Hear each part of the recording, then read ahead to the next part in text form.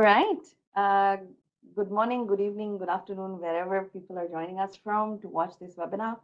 I'm quite excited to be having this um, session with uh, amazing students and very close colleague and friend and family. Um, it's a very important topic that we're going to be discussing today. We want to look at the power of gamification as a catalyst for student engagement in climate change dialogue. Um, we are hoping that this thought-provoking discussion will um, allow us to explore how game-based approaches can actually invigorate learning and inspire action among the youth. Um, you know, gamification in, in, education is not something new.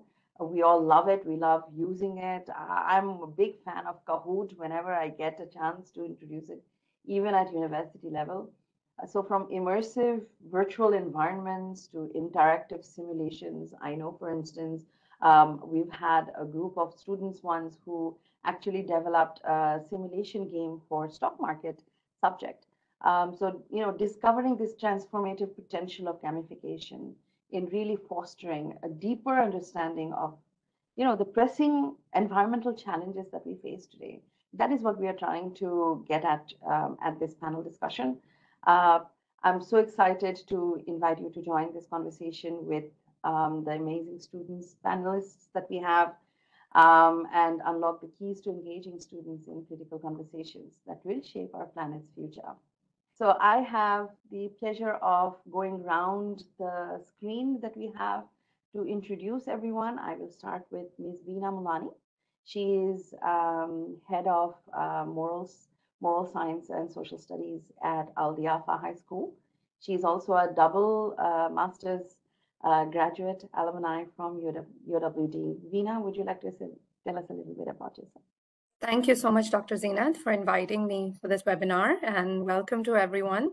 Um, I'm seeing very young faces, so it's really nice to see all students, um, you know, being um, involved in such a critical issue in our world right now and giving their insights into this topic as well. It's uh, it's always the teachers talking, but it's really nice to now we'll get a chance to hear uh, the students and their perspectives as well. Um, so uh, talking from a from a real uh, school background, I would say that you know it's very important to kind of um, inculcate this concept in students right from the beginning.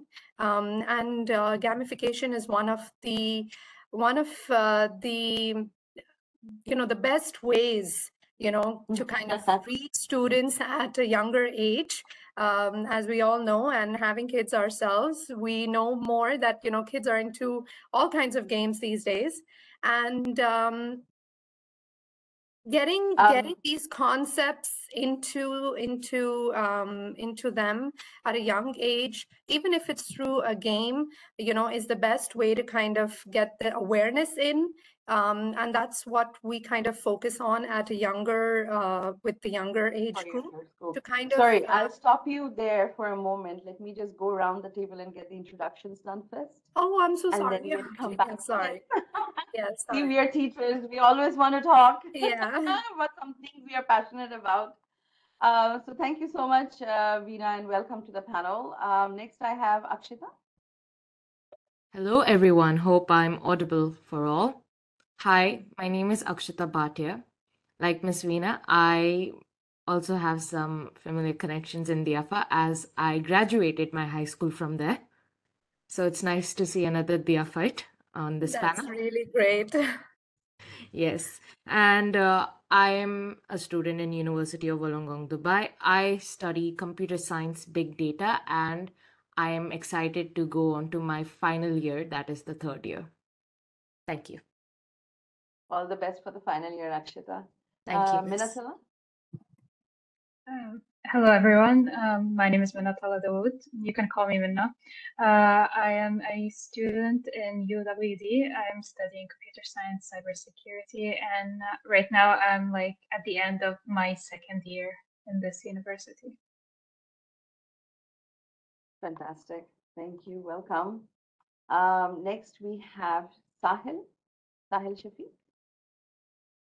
Hello, everyone. Uh, my name is Sahil Shafiq. I'm the position that I hold today is the newly elected president of the Student Representative Council.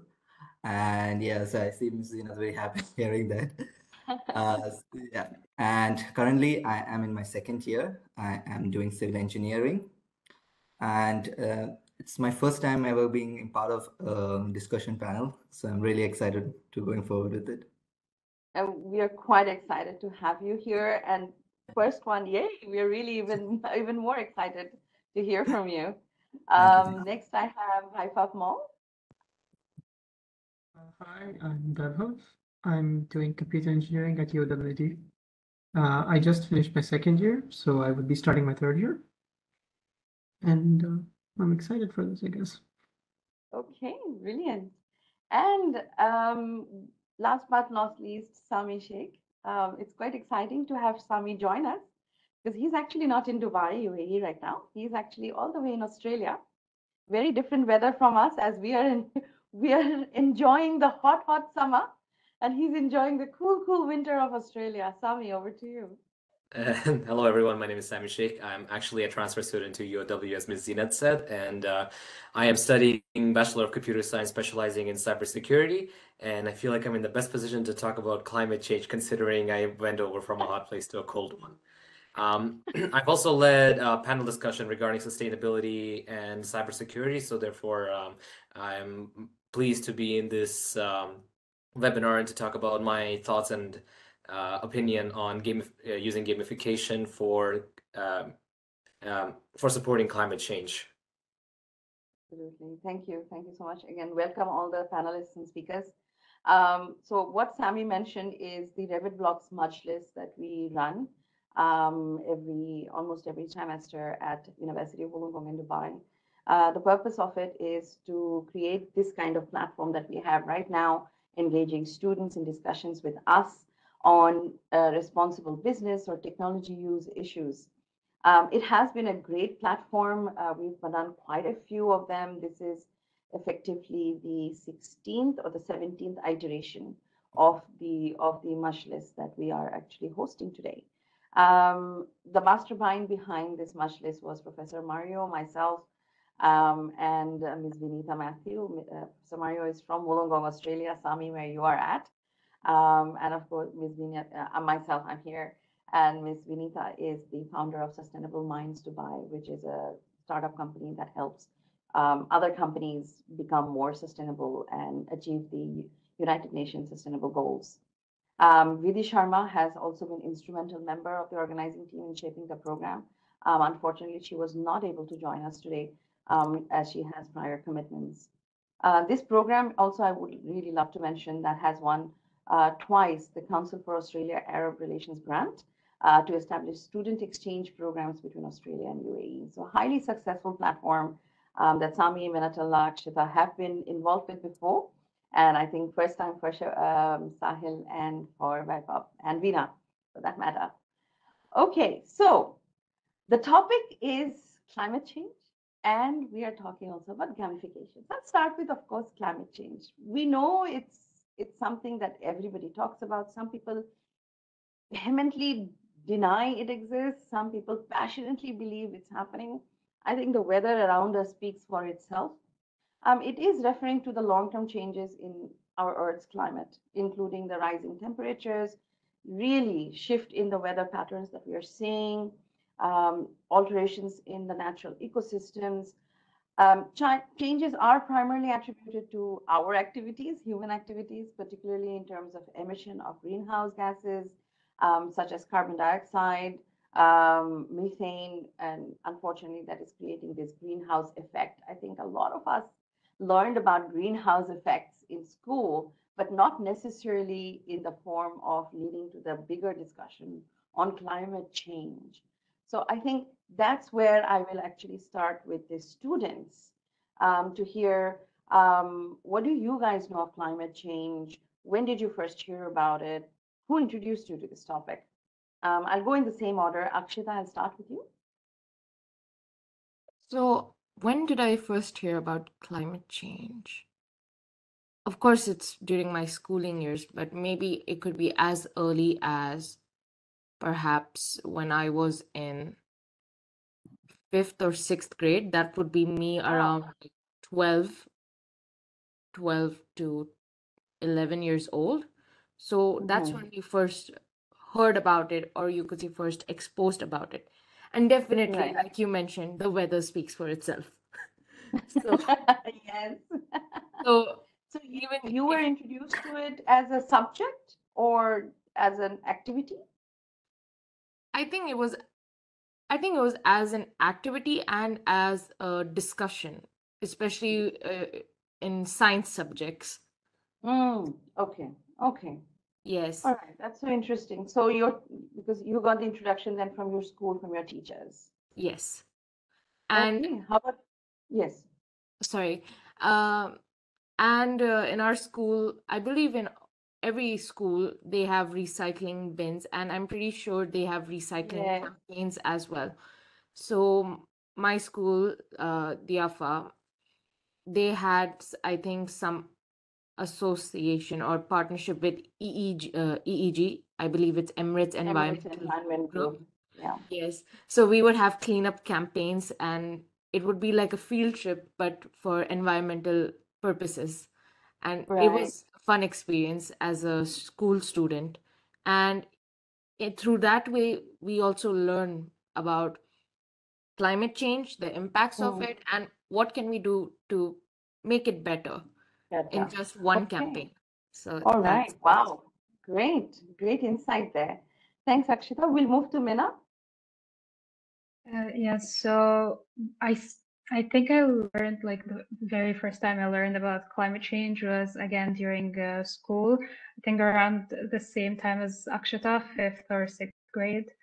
Uh, it was part of our science curriculum, of course, because you learn about the different gases and such. It's like it was more of a scientific approach than like, you know, a general issue that was talked about. And then I obviously learned a bit more about it when I did my IGCSEs in geography. Mhm. Uh, so I have like um, a bit of knowledge about it. Uh, we also used to do some like you know initiatives in school where we would have like like Akshita mentioned recycling and such. So we would get like for instance we'd get like some recycled materials that we want to recycle, and then the teachers would weigh them, and based on that weight we get like exchange in marks. So that was uh, a good thing to get us, you know, to encourage recycling in schools. And then we would have like different activities. Each class would do something related to, you know, helping the environment in general. It wasn't like related specifically to climate change, but again, Mhm. if it helps the environment, then overall it helps with the climate, right? So Yes. uh, it like there were those like small activities. They were effective uh, that you know encouraged us and like taught us a bit more about climate change. So that was my experience with it. Fantastic. Great. Great. Thank you. Thank you so much. Um, Sahil? Yeah, uh, I think the same. Uh, if you ask me when I first got to know about climate change, will be at school. Uh, but when you uh, when you ask about how they've been informing in school, is like through different levels. So as each Mm. grade we progress, we were getting to know the impacts of climate change, how it has been affected, how we as students or how we as humans are affecting it. So as each stage when we are growing up, we are getting that realization. That was there through each step. And furthermore, uh, like in action, when I could say is the first time ever seeing it was back in my hometown, where they the community took steps against climate changes. They took new Mm. initiatives. So that, that was where I saw like how it was affecting in real life, how Right. it can be treated. And even more furthermore in schools, uh, similarly how Akshita told uh, the uh, partnership with EEG Mhm. and doing cleanup drives and initiatives. I think these were some uh, practical ways of how, you know, uh, in schools, how, you know, uh, help students realize the impact of climate change and, you know, how to find a solution towards it. So, Fantastic. yeah. Okay. So EEG now has come up twice. That's fantastic to hear. Okay, Vaibhav. So I learned of climate change as a concept, uh, like in science, right? Like global warming and the greenhouse gases and all of that. So over time, like I don't remember when I learned about it first, but you start noticing it more and more and more and more. Mm-hmm. as you grow up, you start reading more about it. You get to know about it from local news sources or international news sources. Right. So stuff like that kept growing, and that's how I know about climate change. Now in school, we'd have a bunch of uh, what do you say activities or events where we do stuff like plantation campaigns or uh, what do you say some kind of green sustainability drives, like uh, cleanup drives we Yeah. do. So that was also another part of it. But I think I was more active about it in once I came to university like Mm, because interesting. I, like I started noticing things a lot more in university than I was in school. Okay. That's something I've So would you noticed. say that was because you're older and a little Yeah. bit more aware, or Yeah, because more open-minded. So like you get to see more things, so you understand it better. Okay, how interesting. We will come back and talk more about that. Um, but right now I'll move to Sami for your first experiences.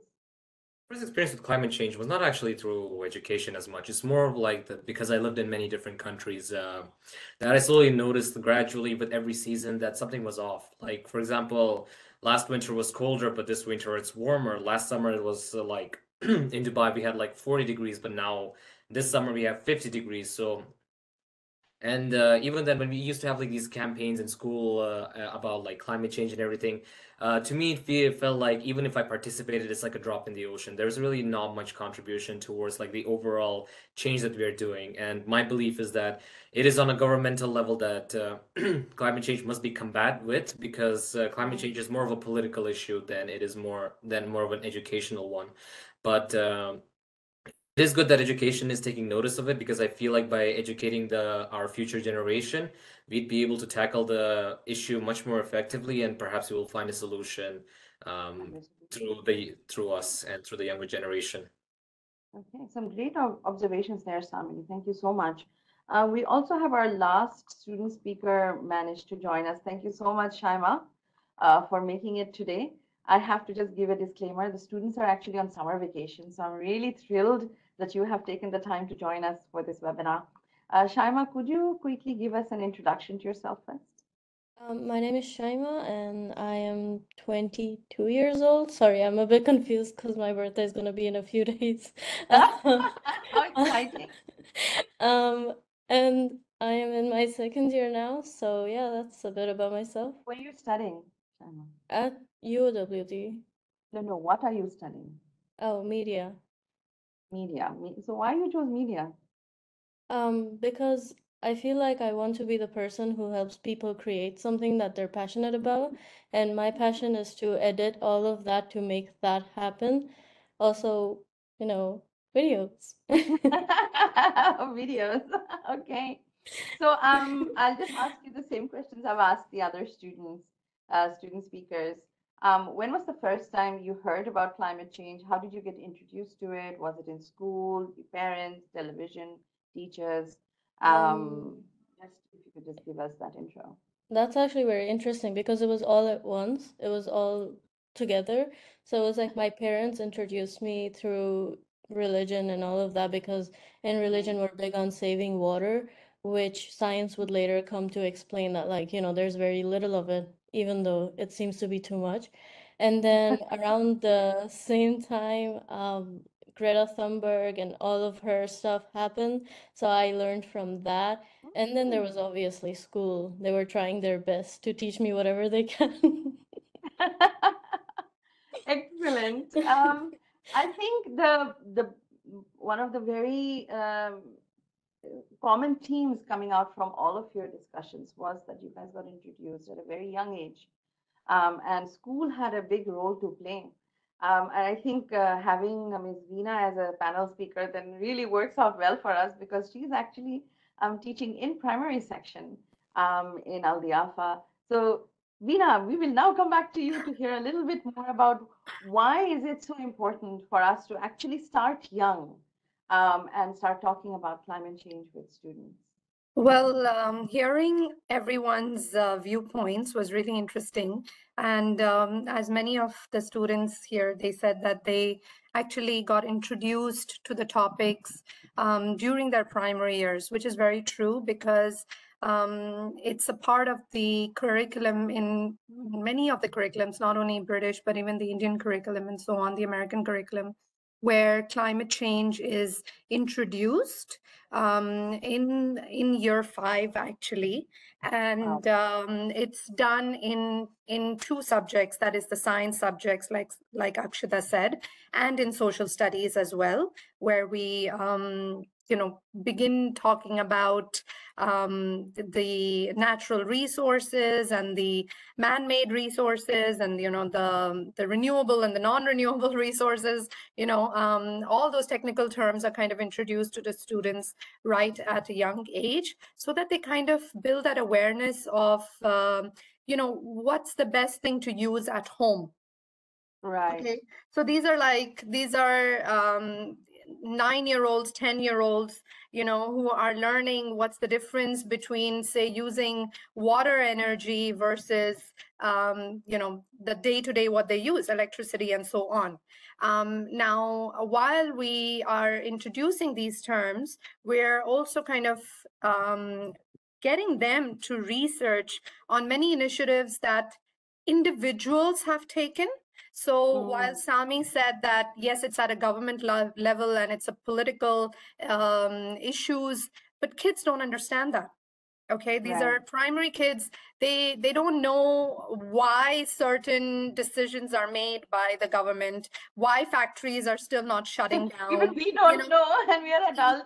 Yeah you know and so while we're telling them that look yeah these are factories that are polluting the air they're they're putting uh, you know they're putting out waste into the into the rivers and so on but kids at that age they don't know. Even a, even as they grow at a me, at a middle or senior level some of them you can't attack government policies. The only thing you can do is make individual changes right? Mm. So we focus on individual and community. So what you can do and what your neighborhood or your school can do, right? And this is where it really starts because uh, yes, it's a government issue. Yes, there are a lot of political um, background decisions that are being made by uh, businesses and um, and multinationals. However, having said that, there are so many individuals out there in the world making so much difference right? And it doesn't have to be it doesn't have to be that okay my my country is not doing anything about it so i'm not going to do anything about it right?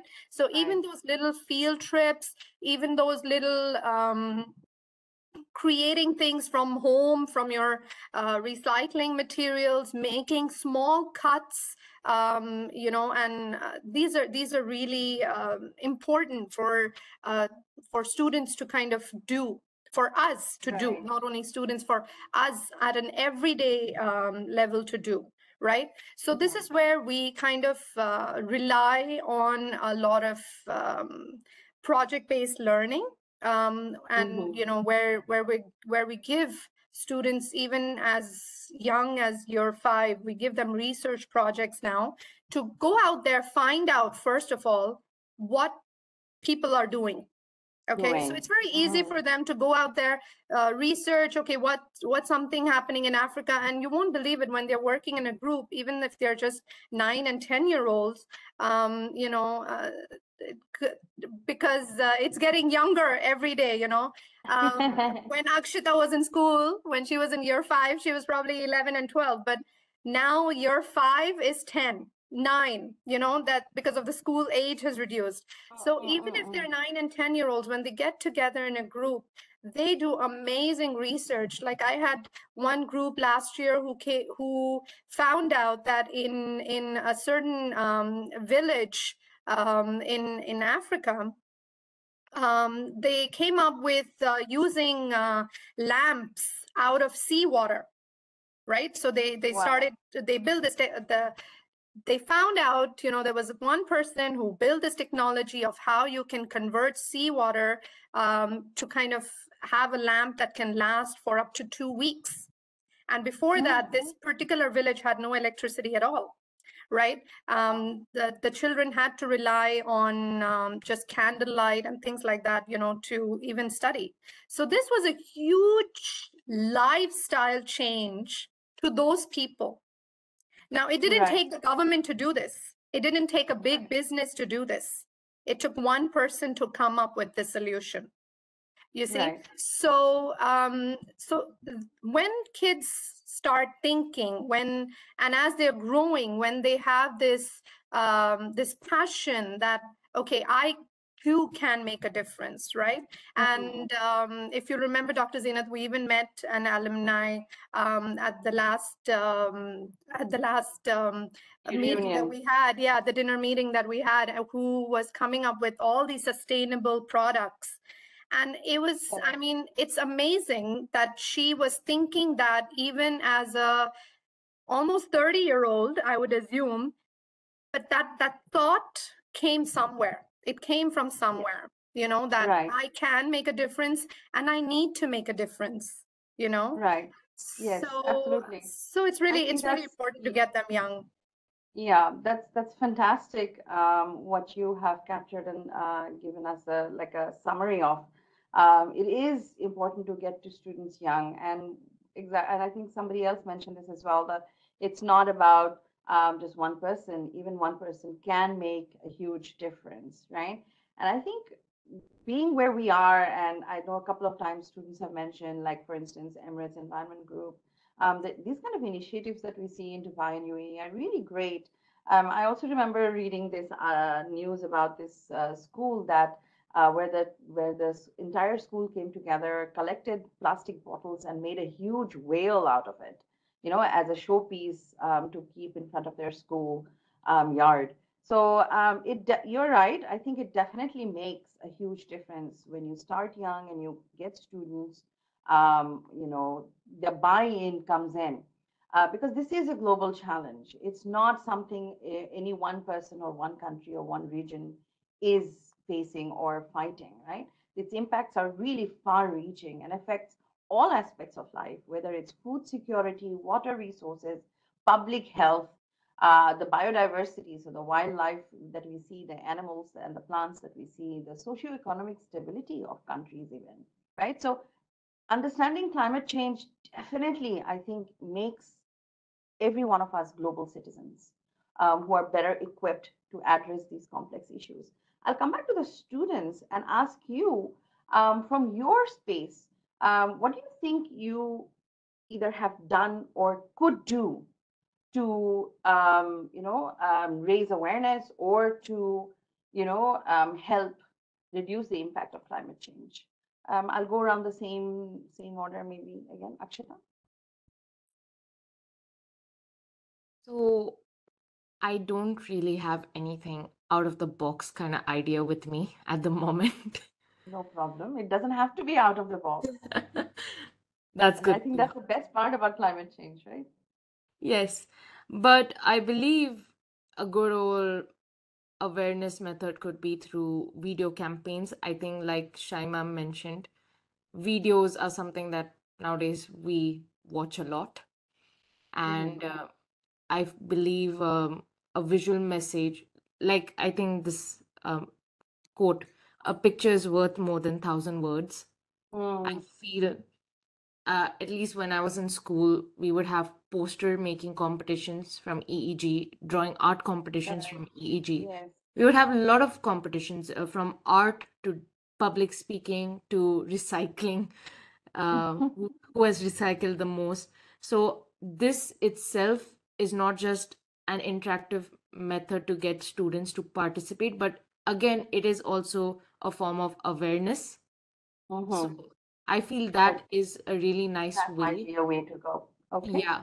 Another thing is just posters and videos and Yeah. forums. Okay. Mena? I think the easiest way I can spread awareness is as a student, especially is through social media. We all have, we all, majority of us have access to social media and we have platforms. Essentially, even if I just make a small like post about, hey, this is happening, this is what you need to know about climate change, it will spread and it might reach the right audience where they are in a position of power to actually do something, a big change. Right. So I would have started that chain reaction of, yes, I'm spreading awareness. I did that. It may seem small, but it has an effect in the long run that it will reach someone of in a position of power where they can make policies where they can you know do something bigger but i started that that you know i made them aware of what's happening. And as a computer science student i can for example utilize cloud computing or virtual machines. Those like really help a lot. We talked about it in isit yeah as a form of sustainable way to go about it. So i think those like those small things really matter in the long term but mm-hmm starting it is the most important uh, step, spreading yeah. that awareness. Yes, thank you. Um, and you're right. I think there's so much students can do from their space, right? Um, so, Sahil, I'm going to leave you for the end for this because I have an extra question to add to you as the SRC president. Um, so, Vaibhav next, please. Personally, I think giving students a platform to discuss and debate with people who, mm. because Students are one of the more proactive members of our community. They like to talk a lot, like to discuss things. And the best thing about debates is when you have someone who's opposing your viewpoint. The, right. the conversation suddenly takes an unexpected turn. Like mm. they have to actually start thinking, like, okay, wait, what are they saying? I have to rebut this. I have to come up with my own. They, mm. They'll encourage them to actually do some research mm. or look into uh, another viewpoint as well. Right. So, for example, debates or podcasts or something of that sort Yes, would be instrumental. You're right. It's just pushing people out of their comfort zones, right? Yeah, it is kind of just them, that. So, yeah, yeah. I like that idea. Sami?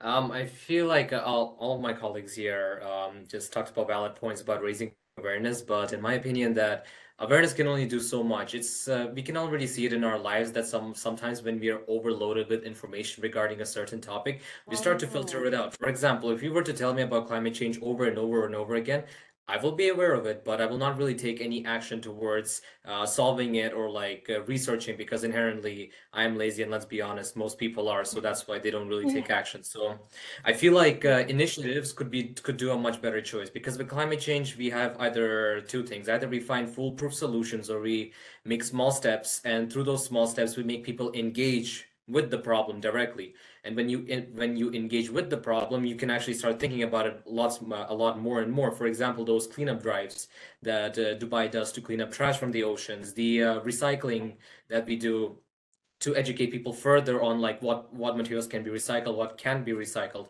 And that on hands experience with these uh, events can uh, actually, I feel, facilitate a much better environment, and perhaps we'll find a solution to climate change much earlier because by exposing the the youth to these situations where they have to be where they have to see what factors contribute to climate change is when we're where we're going to have a sustainable impact uh, and where we're going to actually improve the environment a lot more than just through awareness amazing amazing that's a completely a different angle uh, to take, but such a valid point uh, you've made that it's not enough to just talk about awareness, but actually to get people's hands dirty, so to speak, right?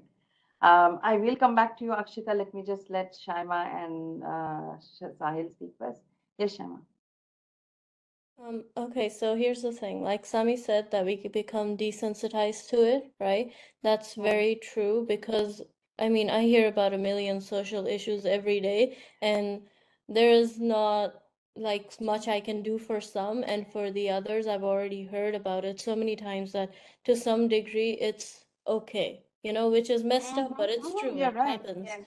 So while I do think that awareness is important, I think that more than awareness, we need to make people understand that what they do on a daily basis is also harmful to the planet.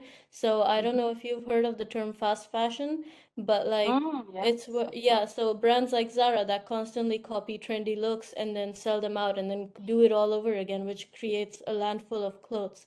I mean a Mhm. landfill of clothes. Fill up So clothes. Yes. um so like we need we can make changes like that. We don't need to have the latest trend. You know, it's Wow. it's become such a thing to keep up with the latest trend. And I feel like in this society, we also need to do the counter thing. Like, you know, every society had two parts to it, one which supports an idea and the other that opposes it. And yet at this moment we're lacking a opposing Opposing. um yeah an opposition to this idea that we need to keep up technologically clothing all of that Fantastic. so even if we Yeah. recycle if we keep purchasing we're buying our own doom basically No, I love that. Yes, you're right. Um, very well said. Thank you so much, Shaima. Now, Sahil. So the reason I've left you for the end, in your position as SRC president, what do you think is the capacity of a student body to make an impact? Oh yeah. So student body, when we talk about student bodies, it's the entire general audience that we have to take in consideration, not just students, but also the entire uni as well, the faculty, the service staffs, and everyone. Uh, but when we actually think about climate change and how impactful it is, um, if I just go, just I want to like also give a concept of what all my fellow members were saying. Uh, back in schools and all when we used to understand about climate change you know it's uh, as sammy said awareness won't actually make an impact on us. That's why we pro brought in the concept of a gamification over there. That's where we put in competitions for the students and these competitions were meant you know to collect the most number of plastic bottles whoever has the highest number of plastic bottles then they will get a prize so what we used to do is uh, by the uh, all the month ends, we used to go to our building, all the flats, we used to collect it. And this Mm. brought in a small impact by like, it, for me, it was the 24th of every month. I'll go around my entire building. I'll go to each knock, knock. Do you have any plastic bottle? I'm doing this cam, uh, drive. I need it. Uh, if I win, I'll get a certificate. So after two, three months, people used to wait for me. Okay, I know Sahil is going to come. He'll go collect the bottles. So these kind of small uh, things did happen. I feel like in that purpose it's a necessity that uh, rather than awareness or initiative becomes a necessity. So that's where i want the student body uh, like our body also to uh, bring an impact. It should become a necessity rather than an awareness or an initiative. People needs to understand um, also in our studies especially for engineering we a key point that we always come is carbon footprint. It's a, a very important uh, tagline that we always use uh, in engineering, a very important aspect as well. Over here, again, in our studies, if our carbon footprint is very huge, our projects get denied. So again, over here, the impact is more. That's where it becomes a necessity for us to find solutions where the carbon footprint is less. Uh, and uh, as being in a student body and holding this position, being the president, um, if we can show an example that um, this and how it is being impacted, I feel like it's not um, that I we feel like every single people will be following it, but then there will be a group of people that will observe it, will understand it. At least if once in a while, if they at least recycle a plastic bottle, that's that small impact might uh, have a recurring uh, uh, effect. It's called the butterfly effect when we speak about it. It's Right. just a small, small effect, but then it just flickers something on to the entire universe. That's what we feel. Absolutely. Um, so well said. Um, and I love that example of going from door to door. Um, I think schools do really well with initiatives like this, really inspiring students to get involved. Um, do you feel university life inspires you guys to do something like this? Because I know Vaibhav had said that when you came to university, you kind of did more, you're doing more because you're more aware. Um, do you generally think that's true? Um, who I, I will open this up to any of these speakers. Maybe just a show of hands to see. Okay, Minna? Uh, okay, so I feel like because, you know, in school they used to talk about it a lot, but in university I come here and we have discussions in certain subjects about sustainability, especially uh, like in my li line of study as a computer science student. And we use a lot of electricity, so we do this topic does get brought up. up multiple uh, yeah multiple times but in general uh, in the university environment I, I genuinely don't feel like we do much outside of classes Mm-hmm.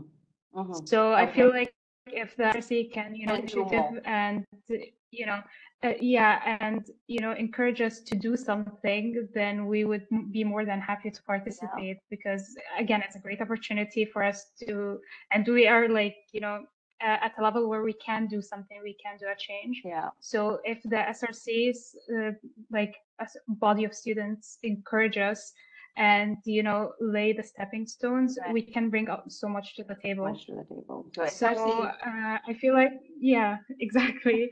So again, it's re- it's really specific to certain subjects I've taken. We've talked about sustainability in Okay. certain subjects, but in the like you know in the bigger picture, as a university student, I haven't seen much much. being Okay. said about it. Okay. I, I personally haven't seen a lot of uh, competitions related to sustainability, though I've been Mhm. just two years in this Mhm. university.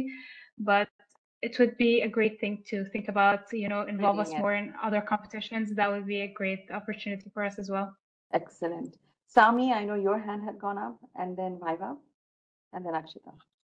Right. Uh, so then I feel like university students are able to make much greater of an impact because we are more uh, mentally mature and uh, so like we're able to contribute more towards the environment than we were as kids. Because let's face it, uh, doing posters at high school didn't really do much apart from just may give us like bonus points in here and there.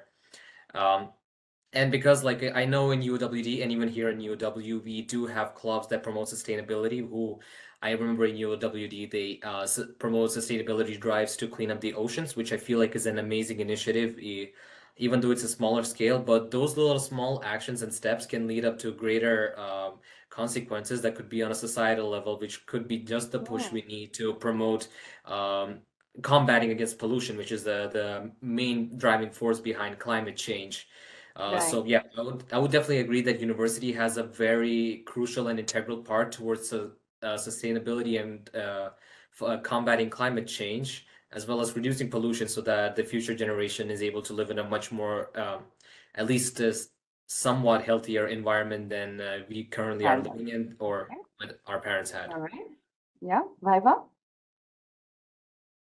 somewhat similar to what Sami said, but effectively, I feel like in uni we have a lot more power as we than we did have in Mm. school. Like we have more outreach, and uh, someone who's doing Mm. science, for example, I actually have access to resources. So I can make stuff now that I can uh, supposedly, Right. supposedly show as a project to help the environment or whatever.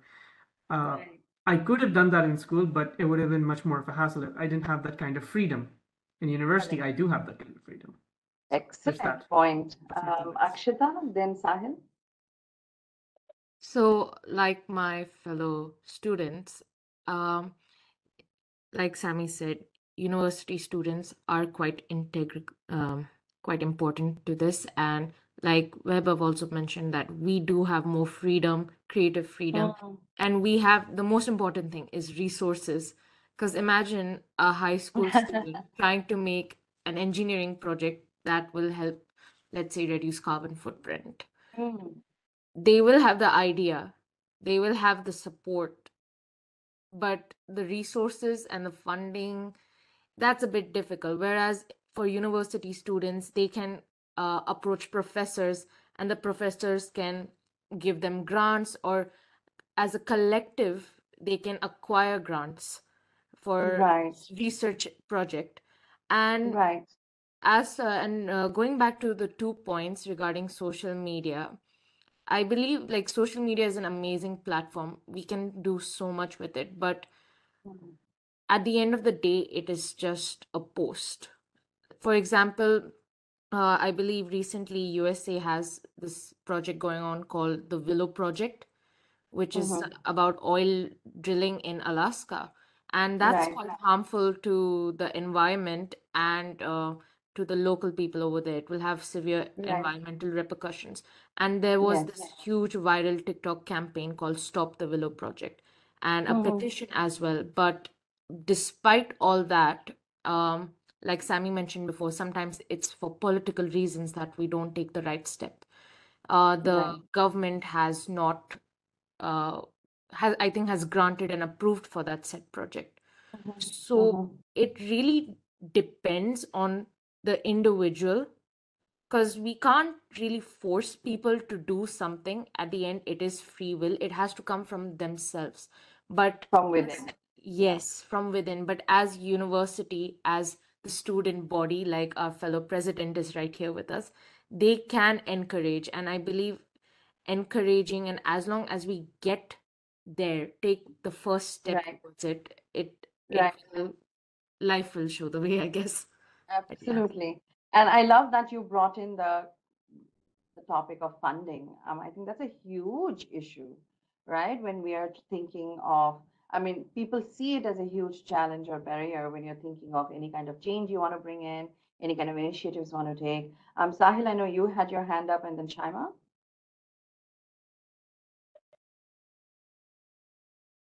sorry sahil you're still muted my dear Yeah, all right, all right. I think now I'm audible. Yeah. Uh, so one second, just let me mute myself. Yeah. Uh, so over here, like an important key concept that I would like to uh, emphasize is on that our freedom, uh, like when we are speaking up, all right, this forum actually shows that like now we are much matured enough to give a val- valid reason which is impactful and again we have this freedom of again uh, to give our opinion open-minded. And there are people who actually accept it.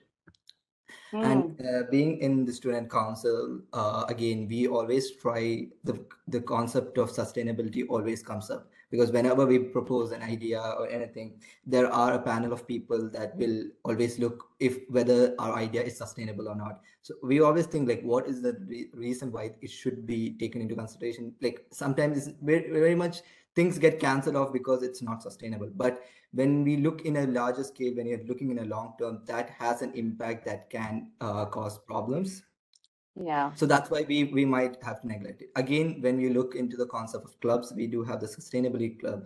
And over there it's again where they put up forums. Now the latest one will be the cop28 the climate change uh, forum where we want and we want students to be encouraged in again come up and speak.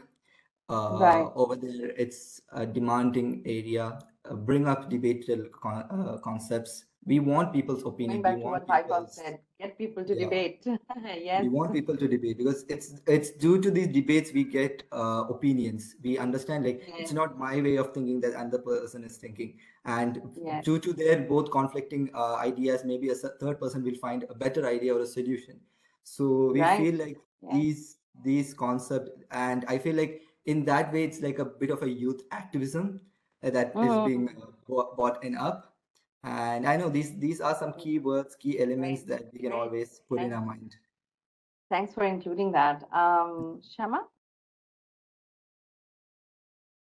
Um, so I know a lot of us want to say the SRC didn't do it, so we didn't get a chance to do it. But um, but I feel like most of our activities related to, you know, green changes that we're making should come from us because yeah, the uni can do it. They can event organize events in a way that there's less trash or uh, you know, I don't know, less fumes, I guess. They can only do they can only do so much. Like, there's so much of it that falls on us that it doesn't make a difference what stage of life we're in, just as right long as we're constantly improving. So, like, right uh, if I didn't know about fast fashion a few years ago, I know about it now. I'm not gonna do it now now. And then if I don't know about, I don't know, I guess someone could not know about recycling. If I don't know right about that, then I'm gonna do it now. So it's constantly right evolving, just like with anything else. So I wouldn't blame the SRC entirely. no no we are not blaming we are inspiring no, I'm joking. So Um, yeah, I, that's just, I think it's a very good point that you brought up, um, Shaima, that so I didn't know before, I, I, I know now. So then it's still on me to decide what I'm going to do with that information. And with that, I'm going to move to Ms. Veena, uh, because I think it's a very interesting um, point that we've gone to with the discussion with the students, where they're saying they're feeling more empowered, they're feeling that they've got more freedom, um, you know, people are listening more to them, giving weight to what they're saying so that they're they feel now they're in a position where they can actually bring in real change What are your thoughts on that as a school teacher um, viewing school students um, making impact? First of all, I just have to say that I'm loving this um, this thought process that our young adults are having because really it is up to you to make the change whether you are doing it um, as a part of um, of an SRC or you're doing it just as an individual, it does start with you guys because, like you said, you are empowered more than your younger, um, you know, the younger population. Okay, but um, our younger population is doing quite a bit as well. I'm not sure if uh, all of you have heard. Just recently, I remember a few months ago there was this um, young girl. She's about 15 um, who was uh, awarded um, from the Action for Nature Award because she had collected almost a ton of recycling e-waste material in Dubai. Wow. And uh, yeah, and um, I mean, you can Google her, and and so just having uh, having that that kind of um, that that passion that kind of uh, need to do something you know? I i don't i don't believe that there's a specific age for it but i do agree with all of you that the older you do get people do listen to you more they kind of respect you more. Um, you know they'll give you the few minutes to kind of really um, step away from the poster making and um, bringing an initiative to life okay? And um, but now it's it's up to you to kind of pull the younger population in you know? Mm, this is where i would like to leave it because because you have the voice but they have the hands. You have the leadership skills but they have the critical thinking skills. They have ideas. They have the time okay which you might not even have while you're preparing for assignments and things like that. So even if you have a branch of your sustainability club that kind of leads or brings students from different schools and then you do an initiative you see then it kind of becomes like okay the sustainability club or so and so person did it. But you have this whole group this whole army of students yeah. working for you and together you can bring a change you know what i mean? And then you're empowering the high school students. Exactly. You are you are you know it's like imagine us giving you guys the time you're giving them the time. You're giving them the the space the the voice to to do along with you you know? Right. And I think this is an excellent point of the discussion to start talking about um, learning tools or teaching tools or how how we can actually um, spread spread the word, get that uh, you know knowledge capacity building going. Um, and here I bring in gamification. I love gamification, as I mentioned at the beginning. Um, um, I'm not talking about game-based learning where you actually create or make games. I'm talking about gamification where you're basically incorporating game elements, um, either mechanics or design principles, into non-game contexts, right?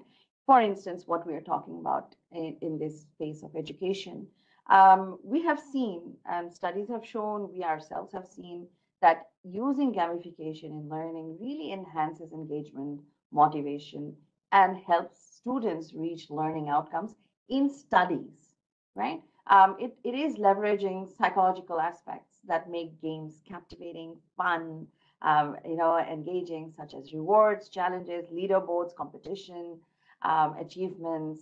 So, you know, it's making that experience really enjoyable and immersive. So we know all of that about gamification. But what I would probably like to do is um, start with Veena to hear about um, your thoughts on using gamification to teach students. And then I will move to students to hear from you about your experience with gamification and how you think you could actually use this, like Veena said, to inspire the, you know, the following generations. Veena? So, um, you know, at at a primary level, the concepts are still very new for the Mhm. students. So we can't uh, go into a lot of technicalities and so on. However, uh, we kind of have started in the last, say, five years to kind of use games to um, to introduce these topics, these concepts to them, and and give them a real life, uh, you know, kind of, uh, you know, like a simulation of what's Yeah. happening in our world, right? So, um, so there are a lot of resources out there now that teachers use. Um, if you, if you know, I mean, if you're interested, you can have fun with them yourself. So there's Yeah. like you just go to NASA's website and you go on um, climate change. Um, they have a sec- separate section. You'll find uh, they have a lot of games there for kids to kind of uh, see what um, you know about the greenhouse gases, about a climate time machine, and you know, one of uh, one of the favorite ones is where they kind of uh, become an explorer themselves, and they go to different uh, different. Um, continents and they kind of see what um, you know what's happening there you know so they go and they, they kind of take the spaceship and they go into antarctica and they kind of you know are looking at all this or they go into uh, underground to uh, underwater to see what's happening to the corals and so on you know. So this kind of gives them more of uh, like i said like a real life experience you know because uh, we can't really take them to antarctica or we can't really take them down to the ocean you know. But we we use these uh, these simulators to kind of show them you know that this is actually what's happening in the Mhm. world.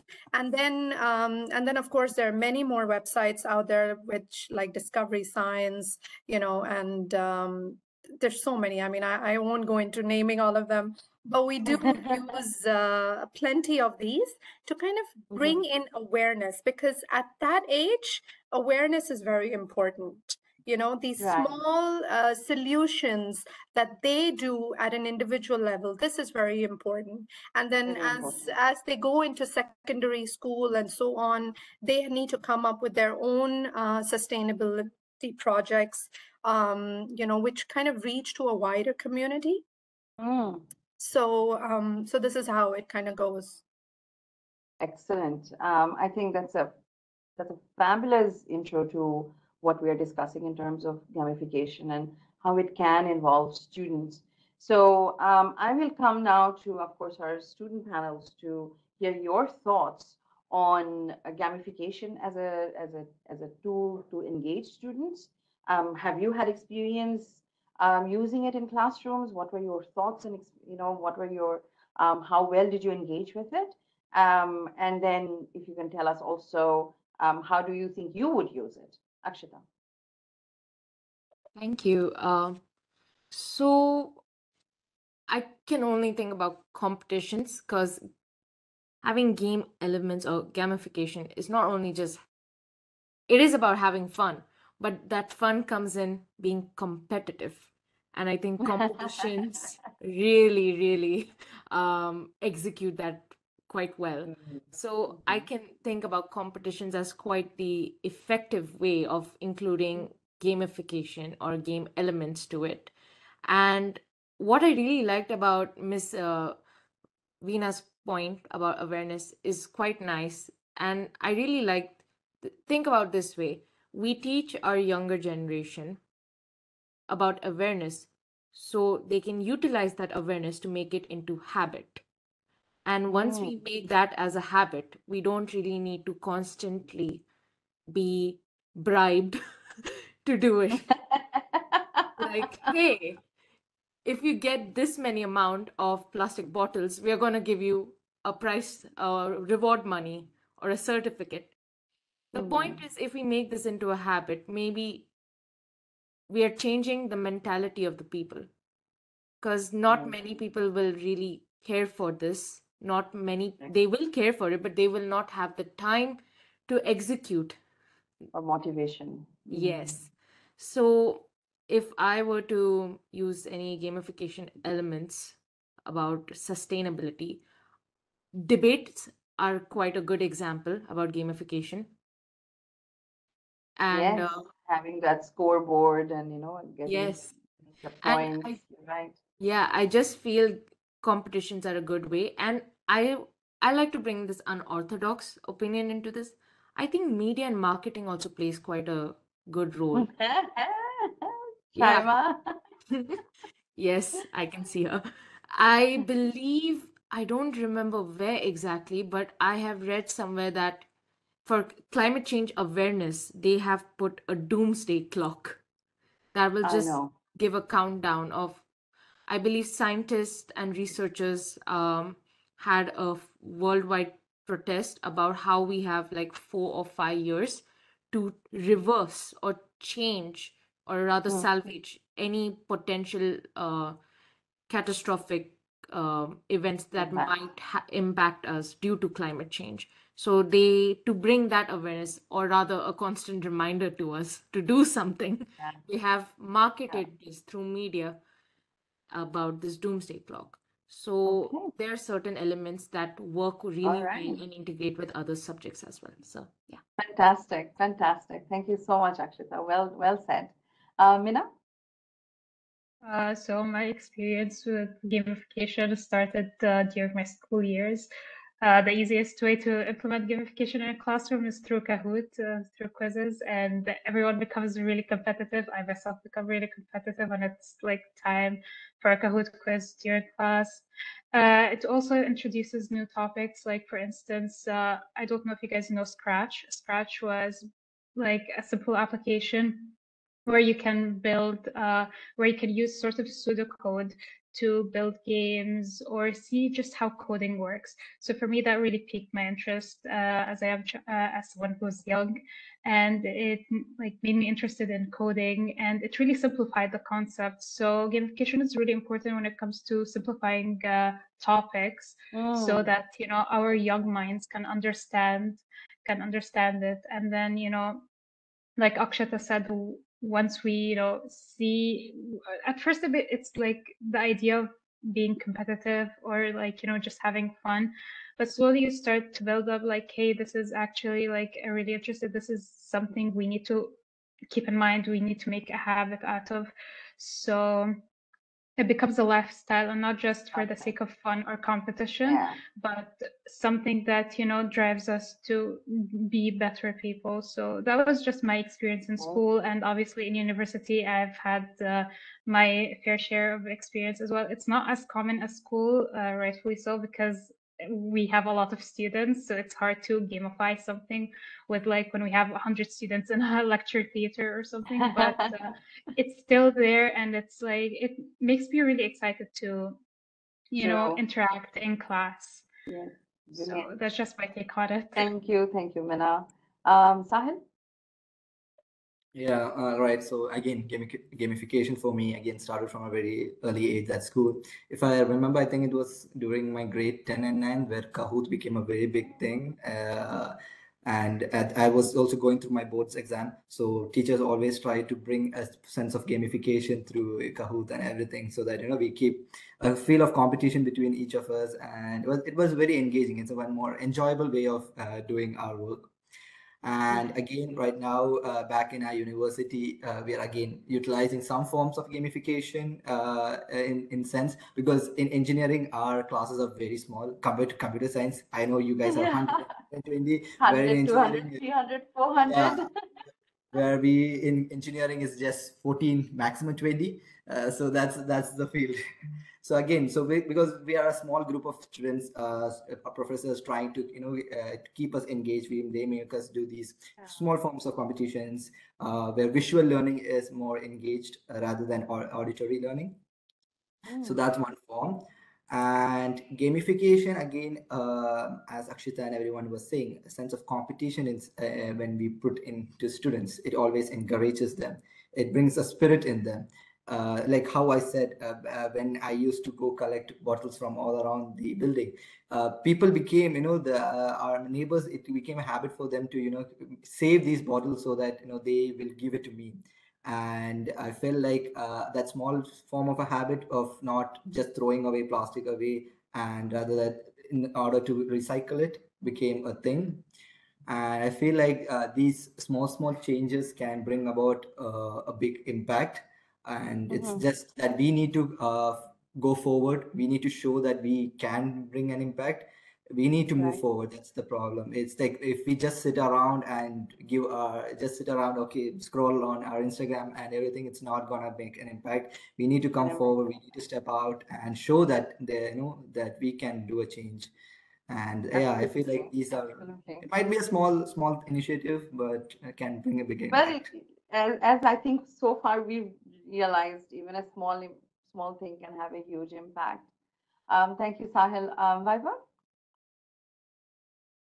think like I mean, if you want to implement gamification or something, so there needs to be some kind of like reward or some kind of incentive, right? But Right. making it more like a competition could also force people into thinking everything's instead of thinking of the, the main problem at hand, they think of the competition more. So maybe it could be more collaborative instead. Like collaborate with people to compete to compete against other people. Uh, sort of like how hackathons work. So Mhm. there could be like brainstorming and whatnot, and it could uh, end up being much more effective because then you would have to work together instead of just being solo against 1v1. You'd have to co uh, collaborate and figure out a much more efficient method of doing so. Like, for example, if the bottle collecting thing was there, if you were working in a group of people and you were trying to collect bottles, you could figure out the best way to collect them, for example, or something of that sort. That's a very interesting uh, take on gamification. Um, and I guess um, maybe I will come back to Veena before I move to um, uh, Sami and Shaima. Um, have you experienced that? Like if we focus on using gamification and this whole element of competition and leaderboards, that it might actually detract from the actual message and get students to focus more on the competition bit. Well, it's very true. Um, I'm really glad that uh, has brought on this different perspective, but um, it is true. This is what we do see in students. Um, like um, said, that you know you get really excited when there's a Kahoot game and you become competitive, right?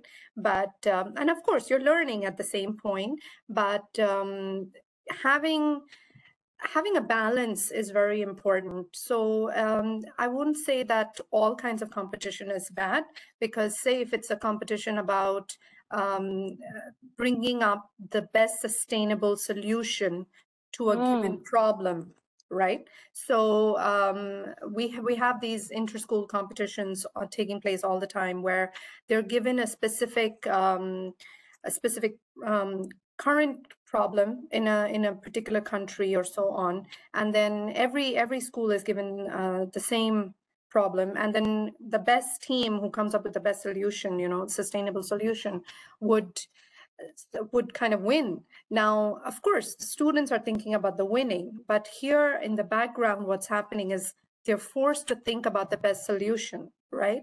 So so it's it's kind of uh, reaching to a greater objective, even though you're uh, using the means of a competition to do it. So in those cases, I, I would say that yes, competition is not all bad.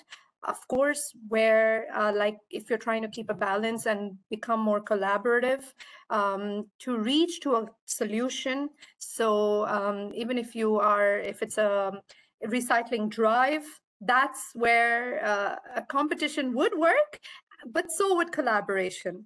And the learning. And the learning, And the right? learning, And yeah. exactly. So a balance is very important in in Yeah. every in every uh, age group. Right.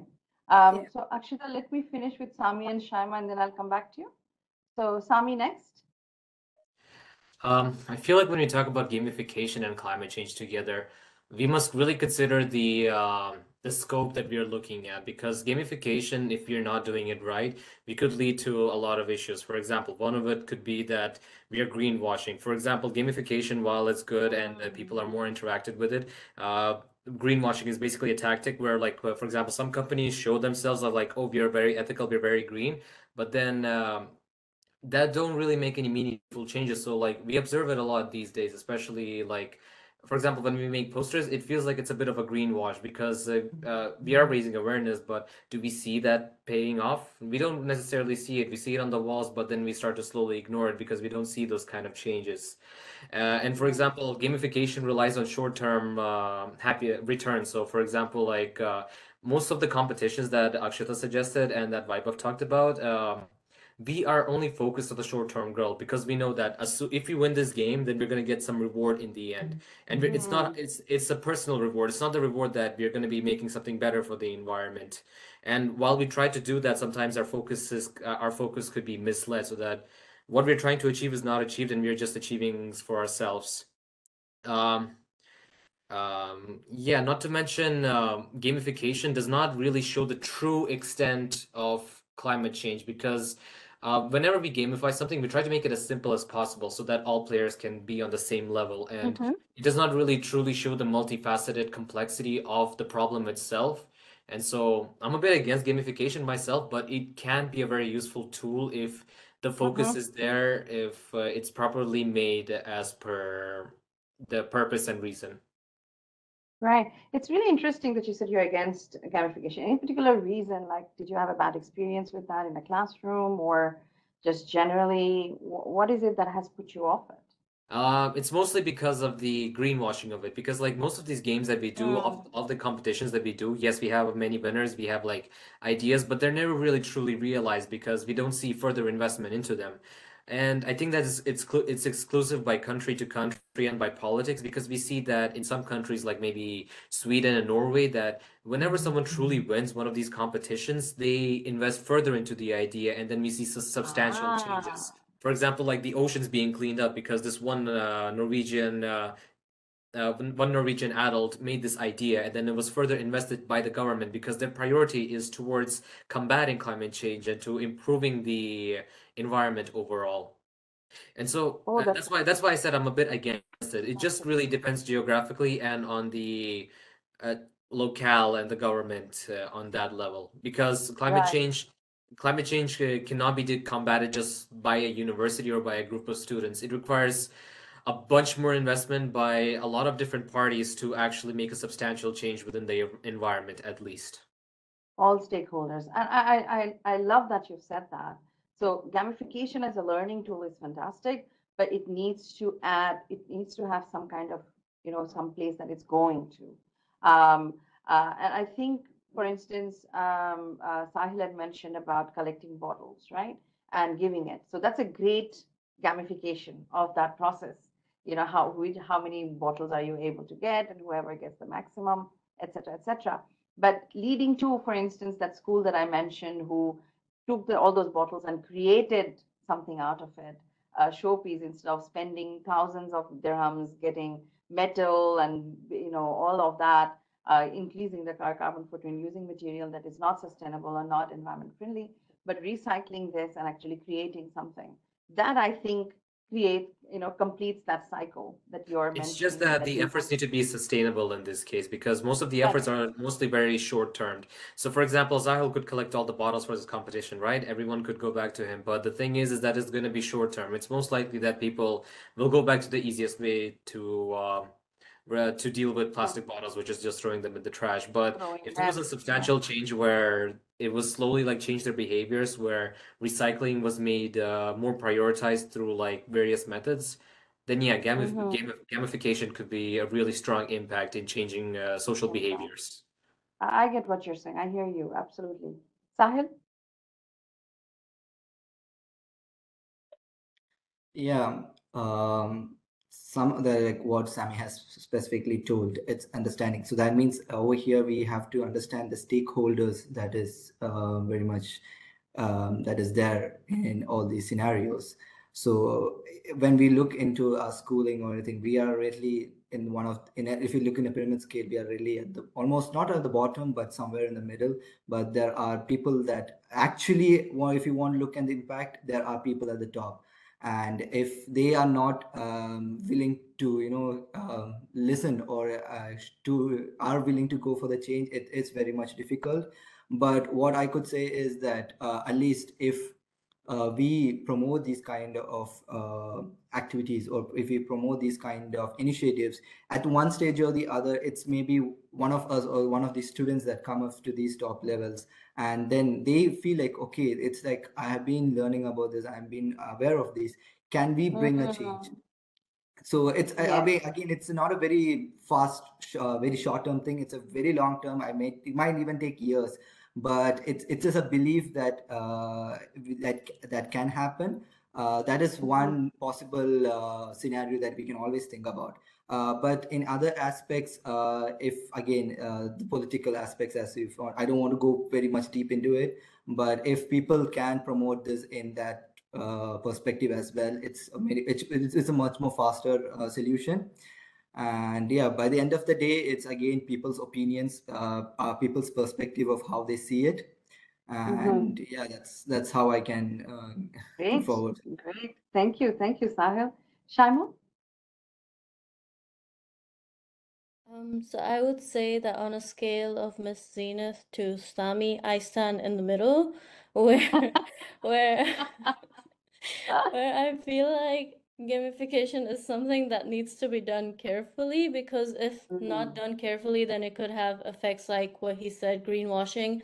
Also, in my personal experience, uh, what Sahil said about, or was it Sam? I don't know. One of you guys said something about um, it being short term, where the pleasures of it are very short term, which is very true because at school I had a competition where only one girl would always win. And so I thought, oh, why even try? She's gonna win either way. Mm. And my teacher saw that, and in an effort to encourage me, that year she made me win. But to me, it was like, oh, I won. Okay, I'm done. Like I just left it. I didn't try much hard afterwards, so like Yeah, was I, I, very, he- I hear was you. Yeah. yeah, but then at uni, the thing is that uh, I think it was Prof. Noor who took media. Yeah. Uh, so he he taught us about this topic of racism in the media and how anti-racist uh, media has been popping up and you know uh, aspects of it in social media and in films and all of that. And while we were learning it, I kind of disagree that it has to be oversimplified. I feel like his approach was also interesting to me because um, it was very confusing to get bombarded with so much information at first. But then as Mm. he like used the pros uh, used the concept of gamification, it became clearer what he was trying to say. So he asked us to go outside into the uni, and they had an event, and we had to go to the event, grab a random senior, and be like, "Oh, hi, can we just make fake news about you?" And whoever came up with the best fake news would essentially win. So we all came back with our forms of fake news, and um, so we all had like, oh, this senior, I don't know, won the Golden Globes, and this senior won like a 10,000 grant from the uni. We all had amazing lies to tell, but he came back to class and he was like, so you see, this, because you are assuming something based on someone's, like, you know, place uh, based on an event that they're taking place in. So you kind of spread this fake news, and we're all believing it because we're not there. So he was basically trying to give that concept to us in another class, as I said, the racism class. He gamified it in the way that he asked the screen media students, which was myself and two other people, to make videos about it. And then he picked which one was the best. But the thing Mm. is, the way that he did it wasn't that he, at the end he picked, oh, who did it best, right? Instead, he bought a bag of chocolates and he just gave it to everyone. So that kind of took the power away from us to be demotivated while Mm. motivating us at the same time. So it wasn't to the extent of greenwashing, it wasn't to the extent of demotivation. It was like somewhere right in the middle, like a good place to be. So that's where I stand on it. I feel like it depends on the person who does it. Yeah. Yes, you're right, right? I think it does depend on on the teacher or the person who is actually implementing the gamification. I know Akshita, you had a comment to make, so I'll just come back to you very quickly before I go into conclusion. Yes, thank you so much, Ms. So all points were, this is what's so lovely about this panel, that we are all discussing different perceptions and different opinions. So I really liked about collaborative competitions, and I believe one of you have, and like Miss Me Veena said, balance is key, as it should be to everything in life. And I believe one of you have also mentioned about uh, an example of Norway how the government Yes. has like further brought this and actually implemented it. Funded yes. So I do know that UAE is doing a lot in terms of sustainability. At least it's trying to. And supporting student projects. Yes. And when hearing about these points, I was reminded about my experience, which was in school, EEGA host public speaking competitions, which you Mm. could consider this as um, a collaborative competition where they give us a topic, we work in a group of five, we have to show and present it to a larger set of audience, mostly students, and a panel of judges who come from uh, affluent backgrounds and can also, you know, come from areas where they have resources and the funding. And the other project, which is in university, which Miss Zeenath, I believe you would remember, is me uh, doing a CS, uh, CSIT 114 uh, system analysis. We had a WISP project. Um, Ms. Zeenath was my teacher for this uh, for that subject, and our topic was about uh, wildlife sustainability. And this is what's interesting.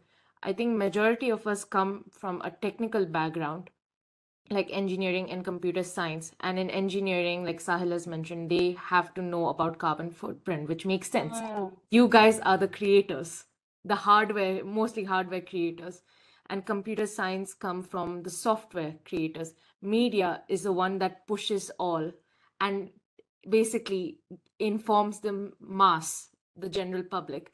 So we all are just one huge system that uh, can make an impact.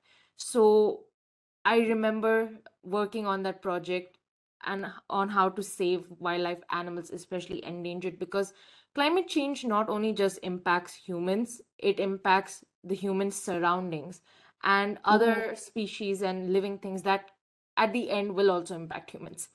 So You're I right. feel that this is such a nice way to put it in. So yeah, that's it. Right. And, and and I think, again, um, from the experiences that you and Shaima are sharing, I think what's important is what Veena mentioned, Sami, Sahil mentioned, is about that balance, making sure that there is that balance between what we are teaching and what we are trying to achieve. Um, and I think um, overall, uh, I remember my, my daughter once said, you know, they had this Kahoot about environment, and then um, you know, the next day, I think I was brushing my teeth or somebody was, and they, we had the tap open, and she came running and she said, "You need to shut that sh- uh, shut that tap because this is how much water we are wasting." And she had an exact amount that she mentioned, and all of us got surprised. We turned and looked, and we said, "Where did you Where did you learn that?" And she said, "Oh, we had a Kahoot in in class the other day." So it does have that impact on knowledge, right? You are retaining it. Um, you just, we may just not realize where, how much we have retained and how much it's impacting our behavior. But I do think that, you know, like for instance, from today's webinar, if you, if even one of you takes away um, that I need to be a little bit more cautious um, about my behavior in using water, switching off the lights when I'm walking out of an uh, of a room, um, you know, keeping my AC to 21, 22, 23 and not going to 19.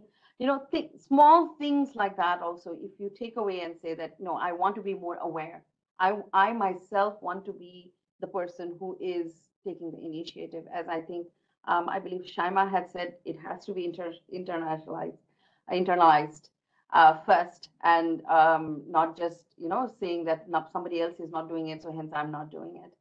Um, Veena, um, last, any last comments?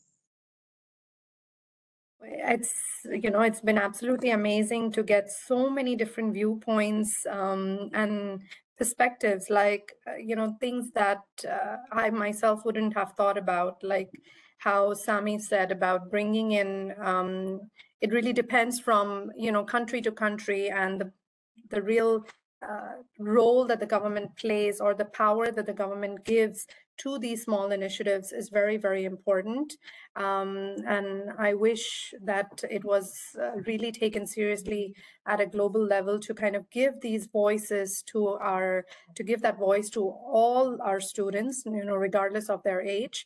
Um, but I would also like to really uh, say that all of you who are now at this forum and you kind of realize that at an individual level you can make a difference. If you are a part of a, of a of a, um, of some kind of a community like an SRC or something, you do have the power or uh, to kind of bring more people in not only at, at the university level, but even reach out to students at schools because really they're doing amazing uh, work and um, not just making posters trust me okay? They are doing amazing work and they do have amazing ideas but they just like you like Yeah. you said they don't have the voice they don't have the resources that you all do.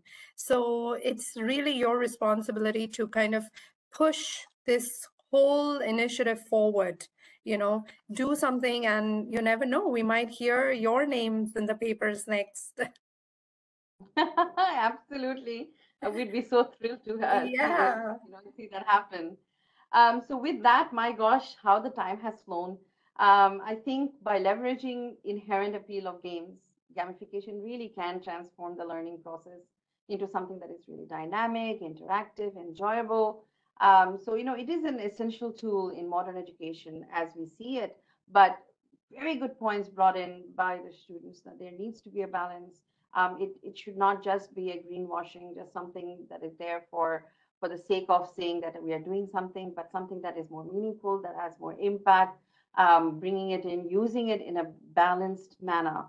Um, and do so that, of course, we can engage and empower students. Uh, but at the same time, I think because we are talking about students and because we're talking about awareness and how important it is to increase student knowledge, um, I think coming to climate change, equipping students with knowledge about climate change, I think we do play educators, uh, play a crucial role in shaping the generation that is aware, responsible, and committed to addressing the challenges um, of a changing climate. Um, you, if nothing else, you need to be able to adapt and be resilient to the kind of changes that you are seeing around you. Um, bring, you know, maybe bring in mitigating efforts from your side and then you know have it roll out to everybody else. We've got engineers in our panel today computer scientists and we've got media as uh, you know uh, majors. So thinking about empowerment and advocacy social and environmental justice all of these are things that um, that are in your hands. You can you're the ones who can do this. And if you can use tools like gamification um, game-based elements into into how you're um, spreading that um, awareness, how you're bringing about that change. I think that's where we will really truly see empowerment um, and proactiveness from you guys in building a sustainable future for you and for the planet. So with that, I actually conclude this uh, Plus Majlis, and I would really like to thank once again Veena for being here and to all my amazing students. Thank you so much, guys, for taking time out of your summer vacation to join this very important discussion today. Um, and with that, we conclude.